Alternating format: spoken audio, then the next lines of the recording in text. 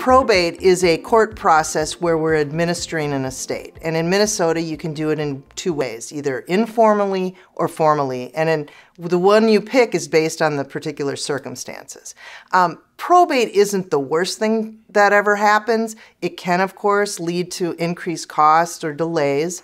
So certainly there's times when we want to avoid it. So when would a client want to avoid it? Um, Number one, if you own real estate in more than one state, you definitely don't want to have two probates going on. Expensive, time consuming. If you have a need for privacy, you don't want to utilize the probate process because a will is public, so people can go and look at that.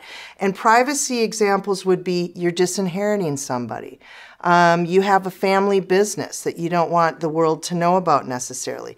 You might have a special beneficiary who has issues where you're going to hold it in trust for them, but it could be for reasons like chemical dependency, mental health, and you don't want that out there in the public. Another reason would be if um, you know there's going to be a trust administration following a probate, there's really no reason to go through it, pay that, deal with the time frame. Just go with a trust administration from the get-go.